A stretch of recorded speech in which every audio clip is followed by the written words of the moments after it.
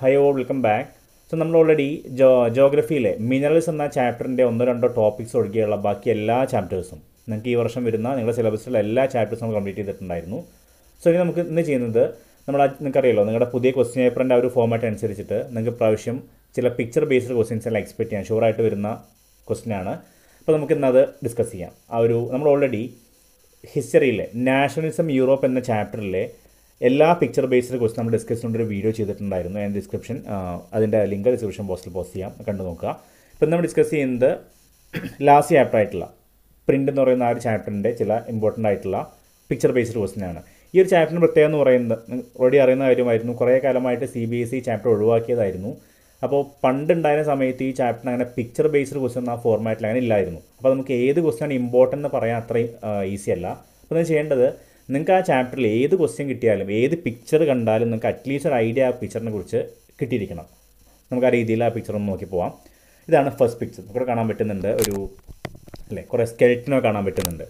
ഒരു റൂം കാണുന്നുണ്ട് അല്ലേ? നമുക്ക് നോക്കാം അതിന്റെ എന്താണ് എന്റെ ഒരു എക്സ്പ്ലനേഷൻ എന്നുള്ളത്. നമ്മൾ ഓൾറെഡി ഒരു ടോപ്പിക് പഠിച്ചിട്ടുണ്ടായിരുന്നു ചാപ്റ്ററിൽ ഫിയർ ഓഫ് പ്രിന്റ് എന്ന് പറഞ്ഞിട്ട്. അപ്പോൾ അതിനെ ബേസ് കൊണ്ടുള്ളൊരു പിക്ചറാണിത് മെയിൻ തീം എന്ന് പറയുന്നത് ഫിയർ ഓഫ് പ്രിന്റ് ആണ്. ഇനി ഈ പിക്ചറിന്റെ പേരാണ് മക്കാബ്രേ ഡാൻസ് നമുക്കൊരു ഡാൻസ് കാണാൻ പറ്റുന്നുണ്ടല്ലോ അവിടെ.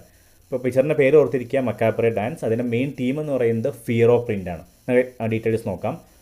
This sixteen century print shows how the fear of printing was dramatise in visual representation of the time ഇപ്പോൾ സിക്സ്റ്റീൻ സെഞ്ചുറി ഇറങ്ങിയിട്ടുള്ള പിക്ചർ ആയിരുന്നു. അതിന്റെ മെയിൻ തീം ഓൾറെഡി പറഞ്ഞ പോലെ ഫിയർ ഓഫ് പ്രിന്റ് ആണ്. In this highly interesting woodcut the coming of print is associated with the end of the world ഈ picture കാണിക്കുന്നത് അത്രയും ഒരു എക്സ്ട്രീം ഫിയർ ആണ് കാണിക്കുന്നത്. പറയുന്നത് ഈ ഒരു പ്രിന്റിംഗ് എന്ന് പറയുന്നത് തുടങ്ങിയതുകൂടി തന്നെ ആ ഒരു വേൾഡിന്റെ അവസാനം വരെ ആവാൻ പോകുന്നതാണ് ഇതിൽ ആ ഒരു പെയിന്റർ കാണിക്കുന്നത്. The interior of the printer's workshop here is the sight of a dance of death skeletal figures control the printer and his workers define and dictate what is to be done and what is to be produce ഇപ്പോൾ ഇവിടെ കാണിക്കുന്ന skeleton ഉണ്ടല്ലോ. ഇവരെന്താ ചെയ്യുന്നത്? ആ ഒരു printing ഹൗസിലെ ആ ഒരു പ്രിന്റിംഗ് വർക്ക്ഷോപ്പിൽ എല്ലാ കാര്യവും കൺട്രോൾ ചെയ്യുന്ന ആ സ്കെലട്ടൺ ആണെന്നാണ് കാണിക്കുന്നത്. മീൻസ് ഡെത്താണ് ഉദ്ദേശിക്കുന്നത്. അപ്പോൾ ഒരു സംഭവം അത്രയേ ഉള്ളൂ. ആ ഒരു പ്രിന്റിംഗ് ബന്ധപ്പെട്ട എല്ലാ കാര്യങ്ങളും നമ്മുടെ ഡെത്തിലേക്ക് കൊണ്ടുപോകുന്നു അത്രയും ആളുകളെ പേടിപ്പെടുത്താൻ വേണ്ടി ഉണ്ടാക്കിയ ഒരു പിക്ചറായിരുന്നു ഈ ഒരു മക്കാബ്ര ഡാൻസ് എന്ന് പറയുന്ന പിക്ചർ ഓക്കെ അതായിരുന്നു ഫസ്റ്റ് പിക്ചർ ഇനി സെക്കൻഡ് വൺ ഇവിടെ നിങ്ങൾക്ക് ഒരുപാട് കാര്യം കാണാൻ പറ്റുന്നുണ്ട് അല്ലേ? ഇവിടെ കുറച്ച് ലേഡി ഫിഗർ കൊടുത്തിട്ടുണ്ട്. അവരുടെ കയ്യിൽ ചില പെയിന്റിങ്സ് കാണാൻ പറ്റും. ഇവിടെ ഒരു സർക്കിളിൽ പ്രത്യേകിച്ച് ആളുടെ ഇമേജ് കൊടുത്തിട്ടുണ്ട്. ഇവിടെ ഈവൻ ദ സ്കൈ നിങ്ങൾക്ക് കുറച്ച് കാര്യം കാണാൻ പറ്റും. നോക്കാം എന്താ അതിന്റെ എക്സ്പ്ലനേഷൻ ഉള്ളത് ഈ ഒരു പിക്ചറിന്റെ പേരെന്ന് പറയുന്നത് ഇംപ്രിമറി എന്നാണ്. ഇംപ്രിമറി സെവന്റീൻ തേർട്ടി ഒരു പിക്ചർ അത്ര ഇയർ അത്ര ഇമ്പോർട്ടന്റ് ആയി കൊടുത്തിരിക്കേണ്ട കാര്യമില്ല. ഇയർ അങ്ങനെ ചോദിക്കാൻ ചാൻസ് ഇല്ല. ഇതിന്റെ പെയിന്റർ ആരാണ്? ഷ്ലേ എന്ന് പറയുന്ന ജെ വി ഷ്ലേ എന്ന് പറയുന്ന വ്യക്തിയാണ് പെയിന്റ് ചെയ്തിട്ടുള്ളത്. നമുക്ക് നോക്കാം.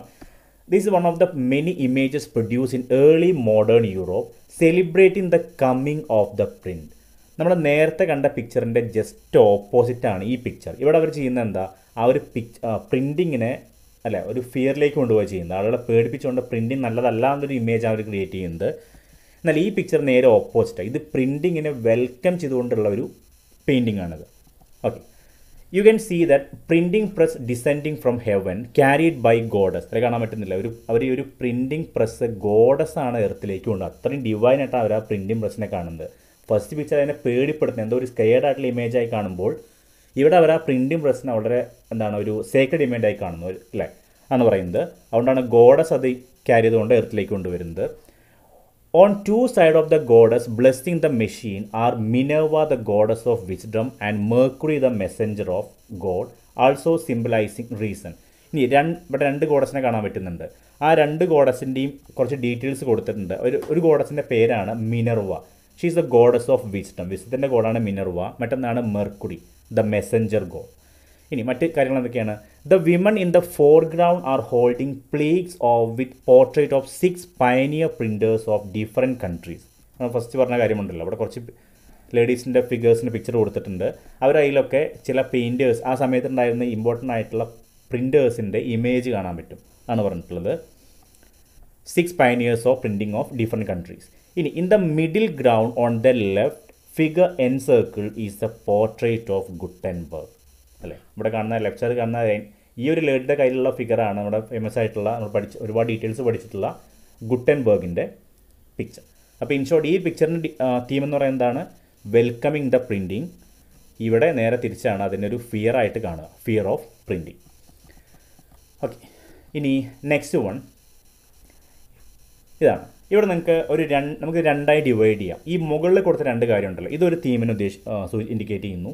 ഇവിടെ കൊടുത്ത് ഈ മറ്റ് രണ്ട് പിക്ചർ ഇത് മറ്റൊരു തീമിനെ ഇൻഡിക്കേറ്റ് ചെയ്യുന്നതാണ്. എന്തായിരിക്കും ഒന്നുമില്ല നമ്മൾ ഓൾറെഡി നയൻത്തിലോ പഠിച്ചിട്ടുണ്ടല്ലോ ഫ്രഞ്ച് റവല്യൂഷന്റെ അവിടെ ത്രീ എസ്റ്റേറ്റ് പഠിച്ചിട്ടുണ്ടായിരുന്നു എസ്റ്റേറ്റ് സിസ്റ്റം അല്ലേ? Clergy nobility and third estate അപ്പോൾ ഈ ഫസ്റ്റ് ടു കാണിക്കുന്നത് എന്തായിരിക്കും? ഉണ്ടല്ലോ കുറച്ച് ആൾക്കാർ അവിടെ എൻജോയ് ചെയ്യുകയാണ്. They leading in luxurious life അപ്പോൾ എന്തായിരിക്കും അവിടെ കാണിക്കുന്നുണ്ടാവുക?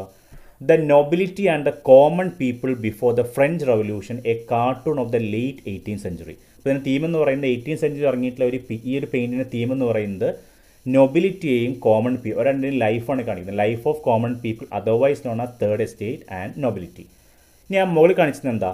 The cartoon shows how the ordinary people peasants artisans and workers are hard time while the nobility enjoyed life and oppress them കാണിച്ചു. അത്രമാത്രം മനസ്സിലാക്കിയാൽ മതി.